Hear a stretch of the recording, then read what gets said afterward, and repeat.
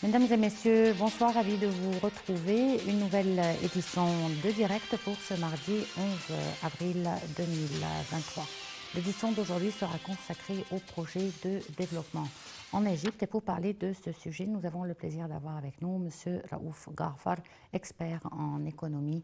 Nous sommes ravis de vous avoir avec nous. Alors, euh, votre évaluation de la situation économique euh, reflétée par le développement, euh, bien entendu, actuellement, comment est-ce que vous l'évaluez? Nous avançons. nous avons commencé par le bon pas, euh, avec une étude bien faite, euh, et on s'est lancé euh, vers le développement étape par étape. On a commencé avec des réformes économiques, et puis on s'est lancé vers les projets, méga-projets, infrastructures. nous avions beaucoup de problèmes sur ce sujet. Euh, électricité, euh, mm. réseau routier, énergie, etc. Et puis, euh, on, change de phase maintenant vers agriculture, industrie, et on n'a jamais oublié l'individu égyptien. Mm-hmm. et on essaye, le gouvernement, je veux dire, mm-hmm. essaye de améliorer son train de vie et lui offrir, euh, comme euh, l'initiative d'ailleurs dit, une vie décente qui marche avec le, monde d'aujourd'hui. Mhm.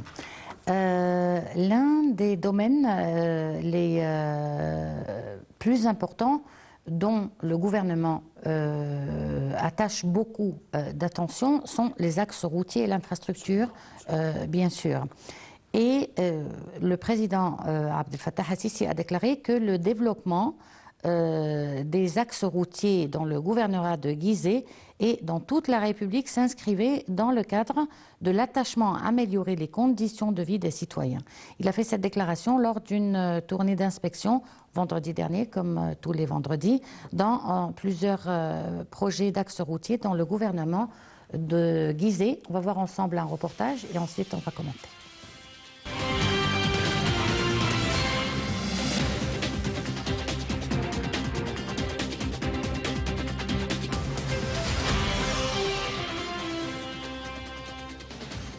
Le président Abdel Fattah el-Sisi a inspecté vendredi un certain nombre de projets d'axes routiers dans le gouvernorat de Gizeh, où sont développées ou construites des routes s'étendant sur 200 km.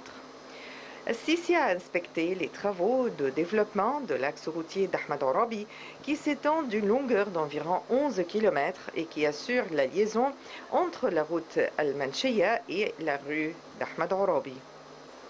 Développer les axes routiers dont le gouvernorat de Gizeh et dont toute la République s'inscrit dans le cadre de l'attachement à améliorer les conditions de vie des citoyens et à obtenir des rendements économiques cumulés grâce à la réduction du temps de la consommation du carburant et des coûts gaspillés dont le transport a-t-il expliqué. Ces projets ont également des résultats indirects qui consistent dans la facilitation de la vie quotidienne des citoyens et la baisse de la pollution de l'environnement. Il s'agit de facteurs importants pour faire face à la forte densité routière et augmenter l'activité économique d'une manière qui soutient les efforts visant à réaliser le développement global et durable selon le chef de l'État. Comme euh, nous venons de le voir, un important euh, réseau euh, routier a été conçu et les économistes disent, vous allez me corriger, que la longueur des kilomètres ou le nombre de kilomètres et l'état des routes et de l'infrastructure contribuent au placement des rangs des pays. Absolument. Ah. Et le, fameux Henry Ford, euh, qui a inventé les voitures, il y a un, siècle et plus de ça, 1917, euh, il a dit les voies, les, réseaux routiers, ce sont les artères de l'économie. Mhm. Et à présent, l'Amérique a la plus grande, Bien sûr. Euh, les plus grands réseaux routiers au monde. certainement, l'existence des réseaux routiers, ils, ils, ont un impact très positif, direct, mhm. sur le pays où ils sont mhm. exécutés. En Égypte, on, sent. Ça économise sur tous les, les, niveaux. Mhm. le temps, et ça économise sur le plan énergie, utilisation d'essence, etc., etc. Euh, sur la santé, parce que euh, le temps ça, se reflète, euh, le temps de transport, mhm. etc. Donc oui, les réseaux routiers sont excessivement importants. Mhm. Et pour justement le mouvement des passagers d'un endroit à l'autre. Et quand on fait ça, ça se reflète sur la production.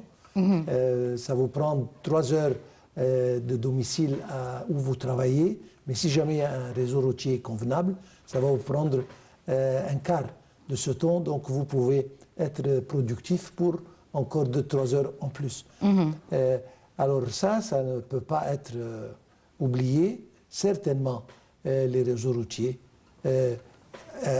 certainement, ça fait partie de beaucoup d'autres choses, mais ce sont une des, un des pilars du développement euh, et, de la croissance économique. Absolument. Mhm. Mais là, on est confronté quand même à un, petit paradoxe, puisque l'importance des réseaux euh, routiers, certainement, elle va avoir un impact sur l'environnement. Puisqu'on va utiliser plus de voitures, on va accélérer, on va aller à une vitesse euh, plus importante. Donc, comment est-ce qu'on peut faire l'équilibre entre ces deux domaines qui sont l'un plus important que l'autre? C'est pour ça qu'on se dirige maintenant vers euh, un peu l'énergie propre. Mhm. On essaye d'utiliser des voitures électriques, euh, on essaye d'utiliser le gaz au lieu de l'essence euh, normale. L'essence même, gasoline, etc., on va au octane assez élevé pour essayer de réduire les émissions et la pollution, certainement. Mhm. mais on ne peut pas euh, s'en passer. Mhm. Euh, c'est pour ça que euh, c'est important, bien qu'on doit mentionner que c'est beaucoup plus facile de, de, de, construire des réseaux routiers entre villes, dans le désert, mais c'est très difficile, justement comme le président inauguré l'autre jour, de faire ce genre de projet dans des endroits qui sont déjà très euh, euh, encombré. Mmh. Et la, population dans ces, euh, dans ces quartiers sont terribles. Et, pour trouver un moyen de, de, de, concevoir et d'exécuter mmh. un réseau routier, mmh. ça, ça, va, ça veut pas mal de, d'idées et de euh, nouvellement. Mhm.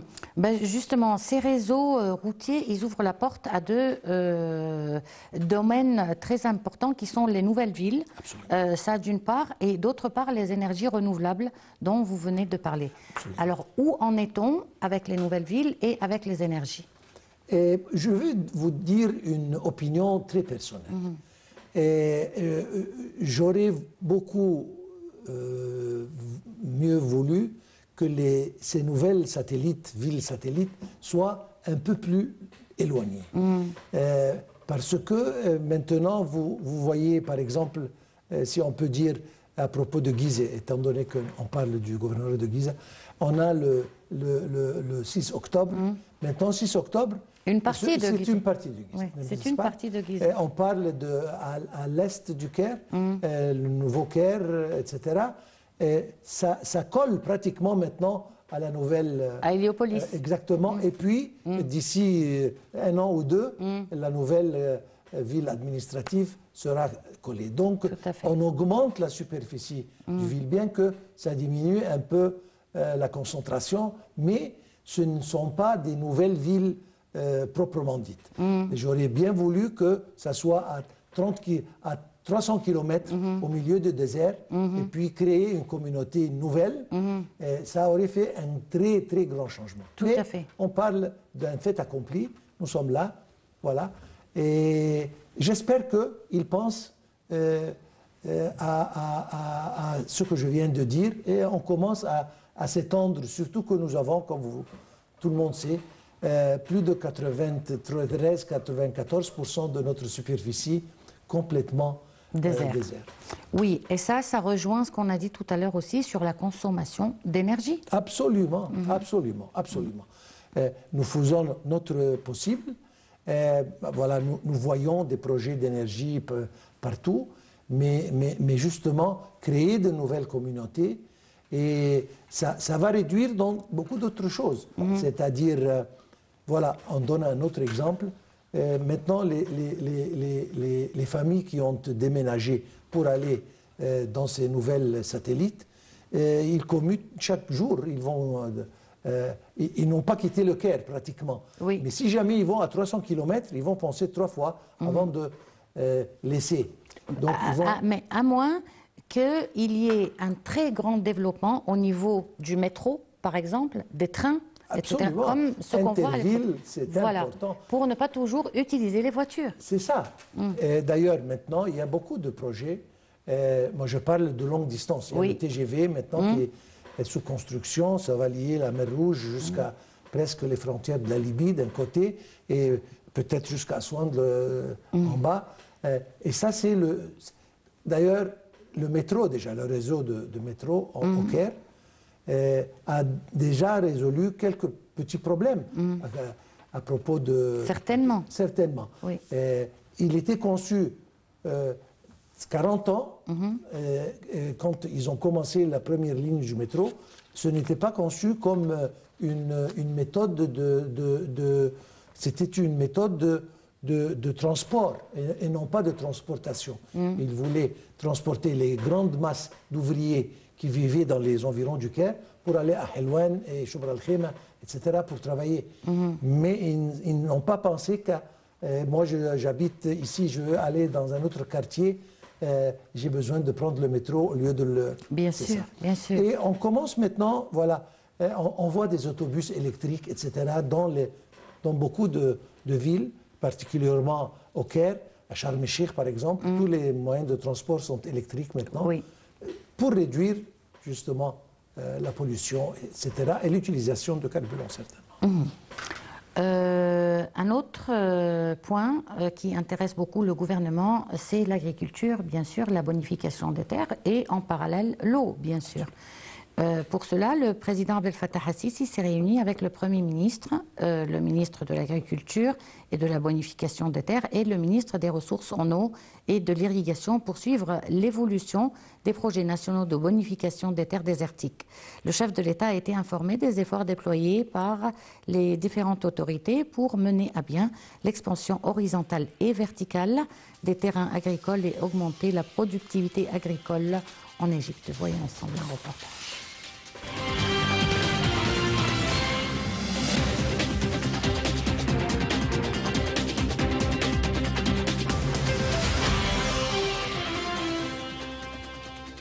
Le président Abdel Fattah el-Sisi a tenu une réunion pour suivre l'évolution des projets nationaux de bonification des terrains désertiques au niveau de la République. Ceci en présence du Premier ministre, Dr Mustafa Madbouli, du ministre de l'Agriculture et de la Bonification des Terres, Saïd El-Qusir, et du ministre des Ressources en eau et de l'Irrigation, Hani Souilam. Le général d'état-major Walid Aboul Magd, directeur général de l'autorité des projets de service national, et le général de division Ahmed El Azazi, chef de l'autorité de génie des forces armées, étaient également présents. Le porte-parole de la présidence de la République a déclaré que le président a été informé des efforts déployés par les différentes autorités pour mener à bien l'expansion horizontale et verticale des terrains agricoles et augmenter la productivité agricole de l'Égypte. Cela comprend les projets de l'Est, El de Toshka, du Sinaï, de la Haute-Égypte et du Nouveau Delta. Au cours de la réunion, le chef de l'État a exigé la poursuite des travaux sur les grands projets en cours dans les secteurs de l'agriculture, de l'irrigation, de la production agricole et alimentaire qui ont une grande importance en raison de la conjoncture mondiale. Le président a demandé à mobiliser toutes les capacités et les expertises afin d'assurer le succès de ces projets à travers des études scientifiques précises et une planification globale, de même que l'utilisation rationnelle des ressources en eau et l'optimisation de la productivité.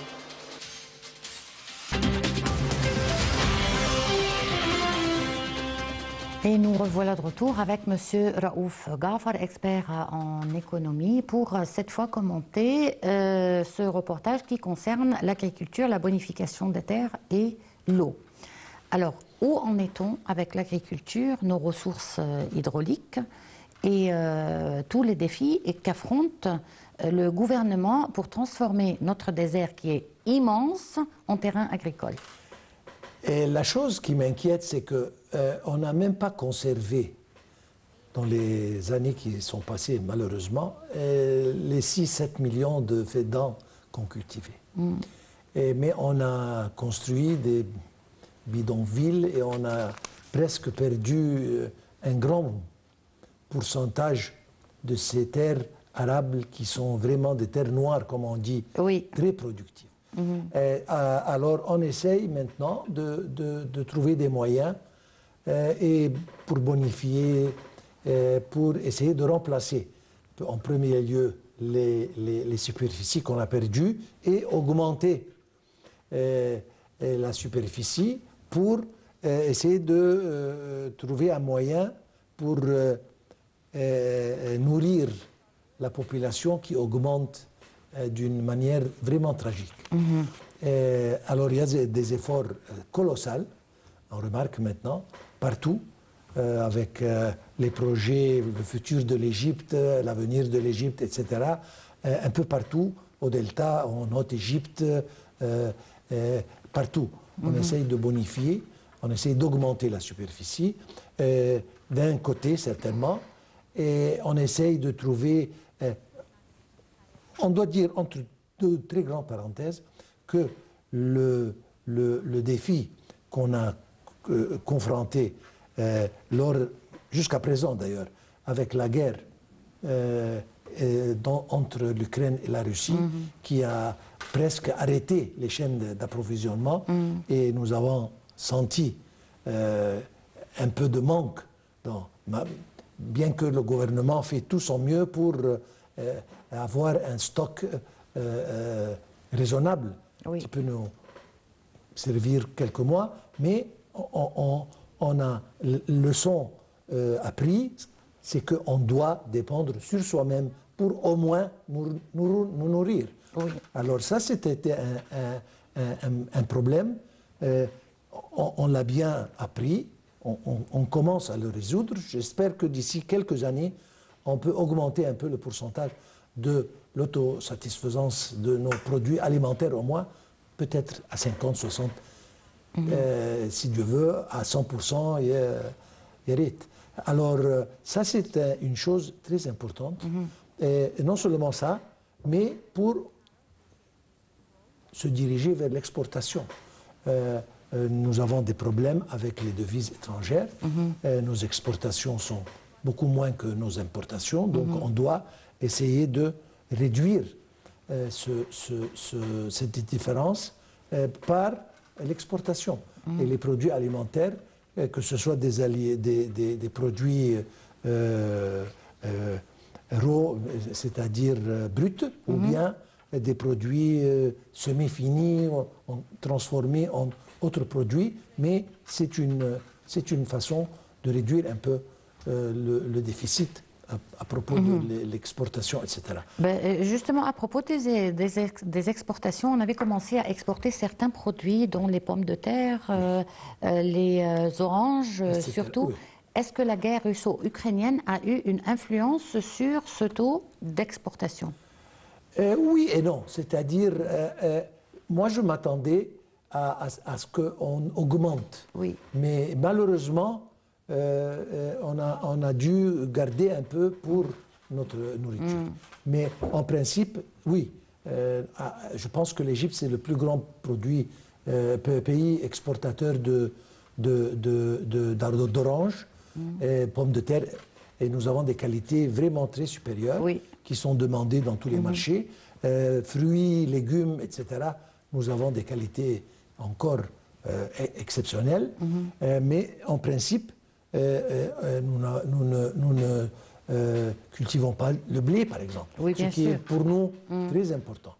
Euh, donc ça, c'est une partie. Ça va en parallèle. Nous savons tous que euh, nous avons euh, un manque d'eau.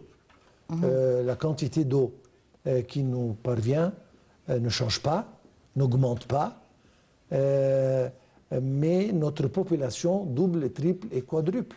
Euh, ça, c'est un problème. Alors, la, première chose à faire, c'est de, première- premièrement, essayer de euh, diminuer nos, consommations en eau. Euh, D'un côté, essayer de rationaliser l'utilisation de l'eau par l'utilisation de nouveaux systèmes d'irrigation, etc. Parce que ce n'est pas concevable que en Égypte, euh, on, on- on irrigue par inondation jusqu'à présent. C'est une chose qui n'arrive pas. Euh, euh, ça n'existe plus maintenant. Euh, Peut-être un ou deux pays qui ont un surplus d'eau qui peuvent faire ça, mais nous, au contraire. Donc il faut changer les méthodes. Maintenant, tous les terres bonifiées euh, ut- utilisent les nouveaux systèmes d'irrigation qui réduisent considérablement euh, la quantité d'eau et qui va nous permettre de bonifier encore plus de terrain. Ça, c'est important. Euh, et et en, en- en- en- en second lieu, essayer de euh, utiliser euh, l'eau peut-être de consommation humaine une fois, deux fois, trois fois, par l'entremise de, de grandes stations, euh, etc. Et, et l'eau des mers? Oui, mais l'eau des mers jusqu'à présent en Égypte, euh, on ne peut pas dire que nous avons avancé à grands pas. Euh, il y a des pays qui, qui sont forcés à faire ça. Oui. Nous, j'espère bien que nous n'arriverons jamais à autant que nous, sommes, nous serons forcés. C'est très cher. Et puis, euh, on a ça, beaucoup de mers, oui, mais on peut utiliser les mers dans beaucoup d'autres choses qui peuvent générer un, revenu beaucoup exemple. plus énergie, tourisme, etc. Mais en principe, euh, si jamais vraiment on se met en tête de rationaliser euh, l'utilisation de l'eau, euh, on peut euh, et augmenter les, terres cultivables et en même temps utiliser l'eau dans beaucoup d'autres choses qui sont beaucoup plus intéressantes et productives. Mhm. Avec euh, l'état euh, de la planète, les changements de température, etc., est-ce qu'il est prévu qu'il y ait plus d'eau avec les fontes euh, des glaces ou bien au contraire qu'il y ait une certaine sécheresse avec la hausse de la température? Franchement, c'est- un paradoxe. Parce que d'un côté, euh, il y a des endroits où ça ne pleut pas. Et il y a des autres endroits où ça... C'est-à-dire changement climatique est vraiment... euh, moi, personnellement, euh, je ne peux pas prédire que- qu'est-ce qui- va arriver.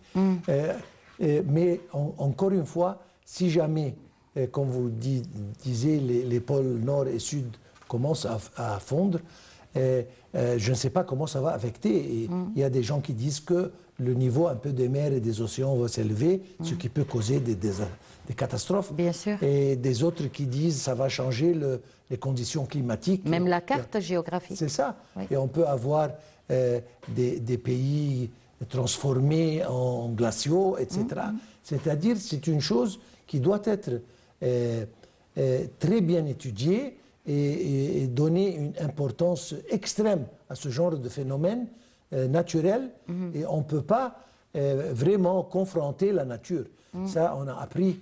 Euh, C'est-à-dire, une des choses qu'on ne peut pas.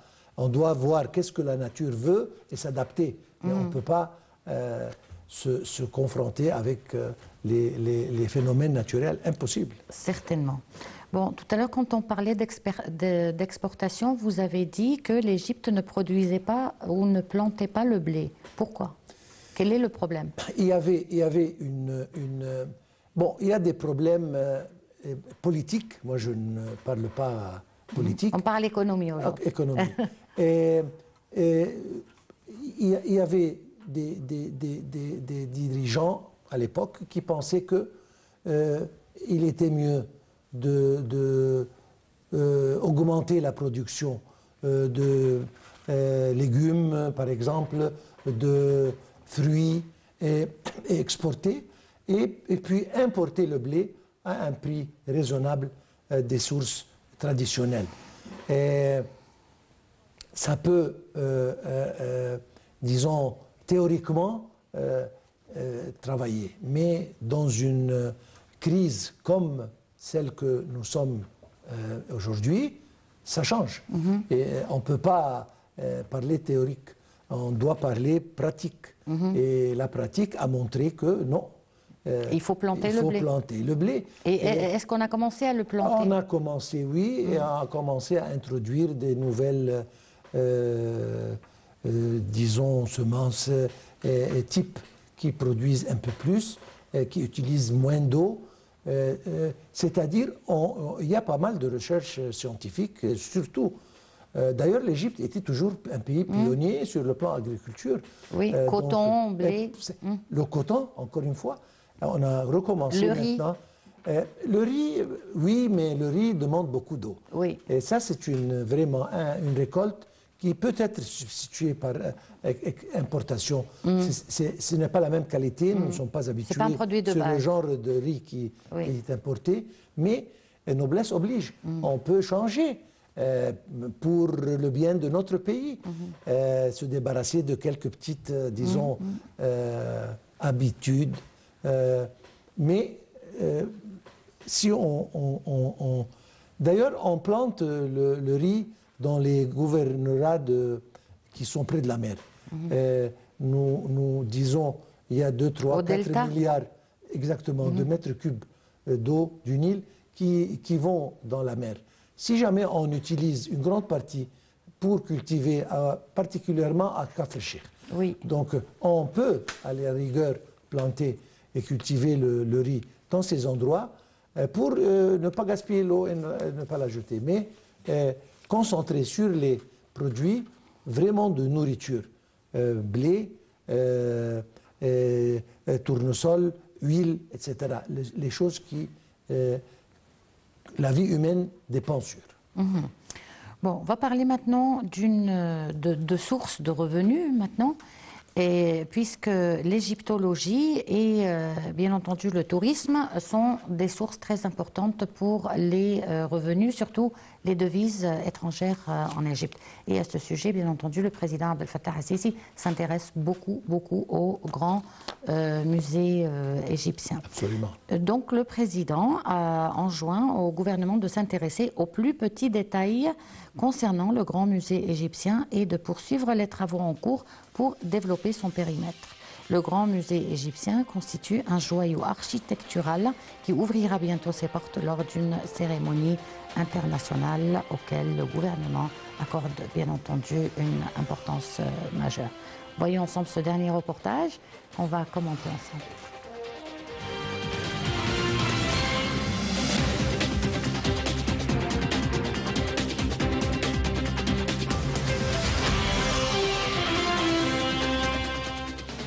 Le président Abdel Fattah el-Sisi a enjoint au chef de gouvernement, Mustafa Madbouli, un nombre de ministres et de responsables lors d'une réunion tenue hier de s'intéresser aux plus petits détails concernant le grand musée égyptien et de poursuivre les travaux en cours pour développer son périmètre. Le président a demandé de relier la périphérie du musée au plateau des pyramides pour offrir une expérience exceptionnelle aux visiteurs et aux touristes et relever la valeur ajoutée de cette région afin d'en faire l'un des principaux sites touristiques du monde, de manière qu'il soit digne de l'histoire de l'Égypte, de son présent et de son avenir. Selon le porte-parole de la présidence, Ahmed Fahmi, la réunion s'est penchée entre autres sur l'état d'avancement des travaux entrepris dans le grand musée égyptien au vu de l'entrée en service expérimental et limité de l'édifice. Le Grand Musée égyptien est un grand projet national qui constitue un ajout majeur au tourisme culturel égyptien et qui reflète l'ampleur de la coopération sur le plan international. Il s'agit de l'un des plus grands projets archéo-civilisationnels dans le monde et du plus vaste musée dédié à une seule civilisation, celle de l'Égypte ancienne. Voilà, et euh, nous euh, voilà de retour et on poursuit avec euh, M. Raouf Gafar, mais cette fois, on va parler maintenant des sources de revenus pour l'Égypte. Donc, nous avons vu que durant les dernières années, l'État a accordé une très grande importance à la restauration des musées, aux nouvelles initiatives prises concernant le tourisme et avec à leur tête, bien sûr, le grand musée égyptien. Comment est-ce que vous pensez que cela pourrait euh, avoir euh, l'impact attendu par l'État euh, L'industrie du tourisme, c'est une industrie, à mon opinion, qui n'a pas de plafond. Mm. C'est-à-dire, nous, nous, voyons des pays qui ont beaucoup moins de ressources que le nôtre mm. et ils reçoivent 40, 50, 60 millions de touristes chaque année. Mm-hmm. Euh, nous devons être encore mieux. Et certainement, le tourisme culturel euh, représente un pourcentage assez important. Euh, on ne va pas parler d'autres types de tourisme mm-hmm. qui peuvent représenter 4-5 fois le revenu du, du tourisme traditionnel égyptien, de l'archéologie, etc. Mais ceux qui arrivent euh, dans, le, dans, le, dans, la zone des pyramides avec euh, la transformation du plateau euh, complètement les dernières années, la construction du nouveau grand musée. vraiment, c'est une chose gigantesque, très grandiose, et avec la construction de tout ce qu'il faut. ils ont même construit un aéroport de Sphinx juste à côté, pour faciliter le transport des touristes qui viennent justement pour... Hein, et, le président a donné ses directives pour lier euh, la zone du, du, euh, euh, Grand Musée avec mhm. le plateau des pyramides, de façon à ce qu'il y ait une circulation pratique, facile pour, le, pour les touristes. Mhm. Mais est-ce que vous pensez que les visites virtuelles euh, des euh, musées sont en faveur ou pas du tourisme? C'est une démonstration qui peut attirer. Oui. Mais quand, quand, quand vous voyez la, le fameux tableau de la Mona Lisa, mm. euh, on le voit dans des films, mm. on les voit partout. Mais quand vous allez au, Louvre. et vous mm. le vraiment voyez face à face, oui. c'est un grand. Mhm. Euh, on peut voir les pyramides et même maintenant avec les nouveaux programmes mhm. euh, virtuels, on rentre dans les pyramides à trois dimensions et mhm. on voit tout. Mais c'est une euh, différente. on, on, se sent complètement différent quand on est là devant la chose et on la voit personnellement. je pense que ce sont des, des moyens d'attirer plus de touristes pour venir mais, mais ils doivent venir.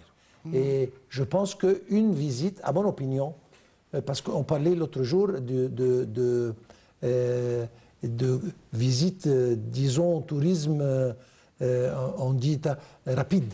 Ils viennent juste pour un jour, deux jours, et puis non, moi je pense mm. que si jamais on veut bien voir et bien étudier, on peut passer de longues mm. heures. Et puis maintenant, il y a beaucoup d'autres euh, euh, euh, musées, par exemple. les musées de la civilisation qui est à... Islamique du, de Islamique et, la nouvelle, le musée de la civilisation mhm. qui est à... À, à Fostot À Oui. C'est une chose vraiment... magnifique, c'est Magnifique, vrai. magnifique. Mhm, mhm, et, on a changé. Même euh, l'exposition des choses, ça a changé. Mhm. Euh, je ne sais pas si jamais vous avez eu l'occasion de visiter l'ancien musée ici à Tahrir. Oui. Euh, quand les choses sont été encombrées. C'est ça. Mhm. Maintenant, non. c'est on a de quoi construire 500 musées. Oui, c'est vrai. Donc ces choses-là, c'est une science. Et maintenant, on commence à, vraiment penser à ça et nous développer pour embellir les choses et, les exposer d'une manière vraiment attirante. Mhm. C'est une, une industrie merveilleuse, l'Égypte. Et chaque jour, on, on découvre euh, des choses nouvelles. Donc euh, il y a toujours quelque chose de nouveau à voir. Et, j'espère bien que ce projet se termine euh, comme prévu et nous commençons à vraiment revivre le temps euh, en or. De... On, l'espère. Euh, en tout cas, l'attraction du tourisme, c'est surtout euh, l'attraction de la devise étrangère pour l'Égypte.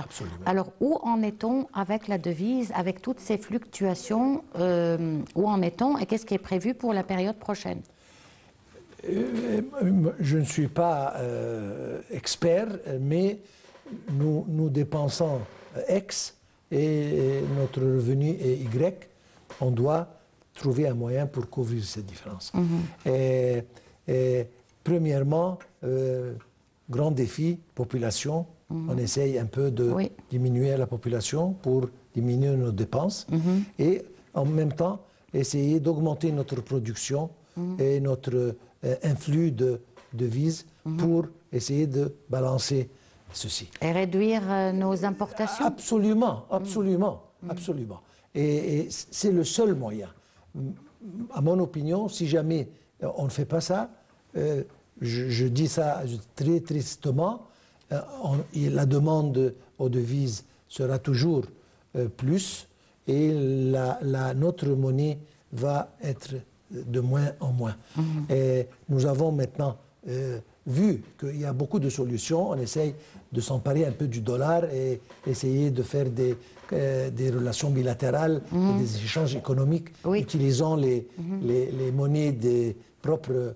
Euh, ça, ça, aide, mais jusqu'à présent, le dollar représente euh, la chose vraiment très importante sur le plan devises étrangères. Ça, c'est pour la valeur du dollar. Mais pour la valeur de la livre égyptienne, elle est surtout liée à l'industrie, à l'exportation, à l'importation, aux besoins. Production. N'importe quelle production, mhm. que ce soit production euh, agricole, production industrielle, euh, production humaine. Euh, les Égyptiens qui travaillent ailleurs, c'est une source, encore une fois. Mhm. comme vous l'avez dit, le, tourisme, c'est une source. L'énergie, grâce à Dieu, avec le, le gaz, naturel. etc., la liquéfaction, on commence à c'est-à-dire, on doit trouver euh, tous les moyens possibles pour augmenter euh, notre production, pour augmenter euh, la demande sur nos produits ailleurs, mhm. pour justement essayer de générer la, devise qu'on a besoin. Et si jamais on aboutit à, faire une, une, équation à zéro, ça sera parfait. Sinon, encore plus. Bien sûr. Et pour le gaz naturel que nous exportons, euh, nous, nous, sommes payés en quelle devise? En dollars? Oui, Absolument. absolument. Ah, en dollars, en euros, c'est-à-dire mhm. maintenant, le, le, le, président a donné ses directives depuis quelques mois, surtout après la crise de, de Russie avec l'Europe, de diriger beaucoup, de, une grande, plus grande partie de notre gaz. Il a donné encore des directives pour essayer d'augmenter euh, la quantité de gaz euh, qui, est produite mhm. euh, et, aller dans cette direction. On commence maintenant à faire des contrats de liquéfaction avec mhm. nos, nos, nos, voisins de l'Est et du Nord.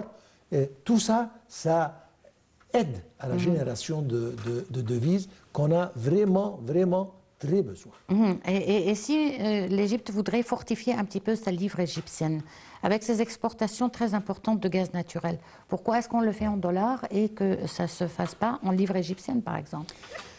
Eh, bah, Nous avons besoin de dollars, justement. Eh, eh, on peut, à la rigueur, essayer d'augmenter la demande.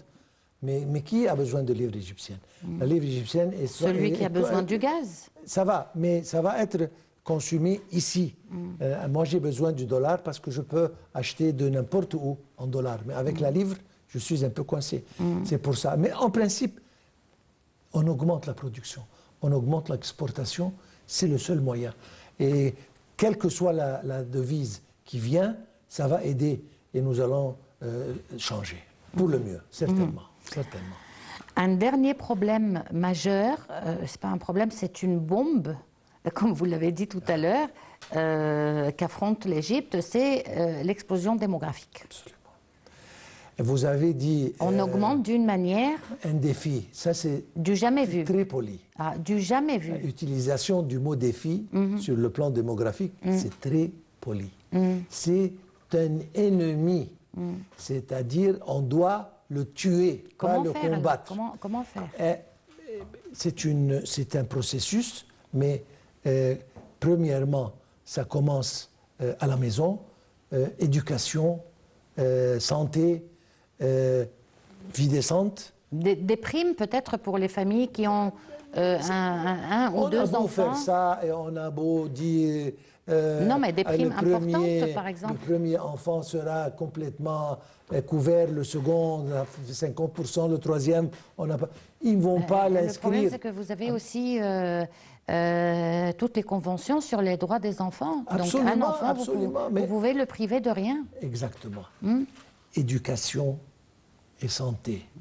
Ce sont les deux choses très importantes. Euh, on commence par les, les églises, les mosquées. Et les enfants, les, les parents doivent comprendre que ça, ce n'est pas un luxe. Au contraire. Mais, parfois, vous avez le- les discours euh, religieux Absolument. qui, euh, je ne veux pas dire encouragent à avoir des enfants, mais qui au moins s'abstiennent euh, d'intervenir sur ce dossier. Ça, c'est une.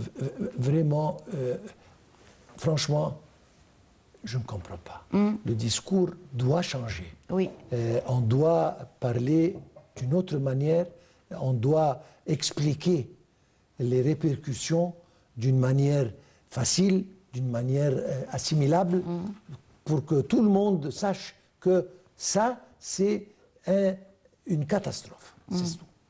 C'est Et tout. avec euh, Haya Karima, l'initiative de l'État, une vie décente, je ne pense pas que, que, que ça, ça pourra changer la mentalité, parce que vous avez des mentalités euh, où euh, c'est les coutumes, les traditions, la religion euh, qu'ils euh, expliquent à leur guise. Absolument. Ça va changer, mais ça va prendre L'éducation des beaucoup de filles. Temps. Beaucoup de temps. Mais au moins, on commence. Mm. C'est-à-dire, on, on doit commencer. Mm. Que ça prenne un an, que ça prenne dix ans. Si on commence, mais pour changer l'éducation, par exemple, ça prend une génération, Mm. 10 ans, 20 ans. Mais au moins, on a l'espoir que d'ici 20 ans, on va avoir la nouvelle République, la nouvelle Égypte. Et avant la génération, vous avez besoin d'une génération d'enseignants qualifiés et Absolument, instruits ça, qui c'est- vont euh, façonner Euh, ces absolument. générations. Euh, D'ailleurs, la chancelière euh, Merkel a dit, a dit les plus hauts payés en, Allemagne sûr, sont les c'est professeurs, sont éducateurs. les éducateurs. Bien c'est ça. sûr. Docteur euh, Raouf c'était vraiment un plaisir de vous Merci, avoir euh, avec moi aujourd'hui. Le temps est passé très vite. On est arrivé à la fin de cette édition de Direct. Merci. Donc, je vous remercie d'être venu. Merci Et je vous remercie de nous avoir euh, suivis. On se retrouve donc demain à la même heure avec une nouvelle édition de Direct et un nouveau collègue. Au revoir.